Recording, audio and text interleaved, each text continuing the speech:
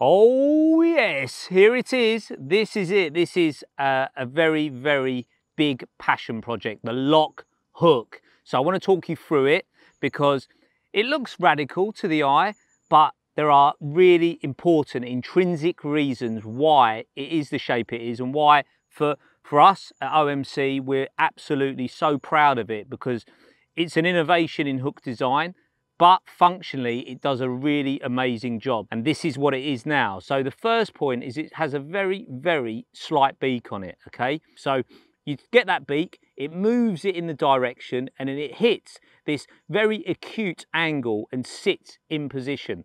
In the past some of you might say oh that's a bent hook. It isn't.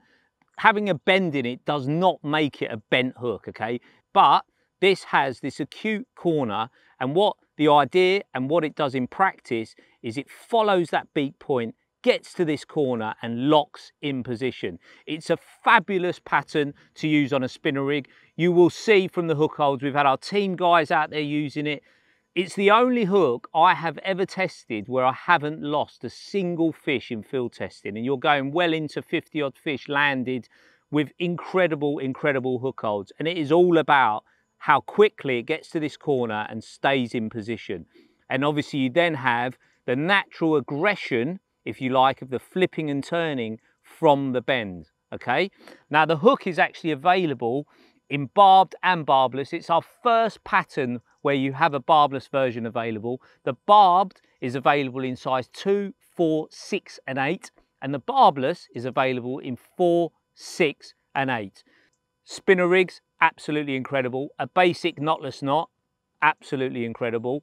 And then other rigs to think about using it with that it's performed brilliantly with, the Slip D and the German rig. So they're all very popular in Vogue rigs. It also works on a D rig.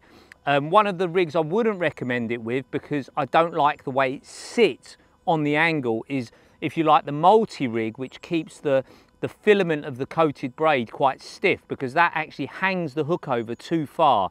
And the final point, which was a part of the very early design of it, was actually it almost being slightly opened out in the point, okay? And and I suppose now it's not as exaggerated because you have the beak, the slight beak to sort of compensate for that angle. So not only is it very aggressive and quick at pricking fish, and you'll see on the front cover of the magic twig, the hook that is in the fish's mouth is actually the lock hook. And that fish was so nailed, a combination of the magic twig and a brilliant hook. And that is what we always say, get a brilliant hook and rig, combine it with a fantastic lead system, and you are fishing with the most effective tactics available. The lock hook available now.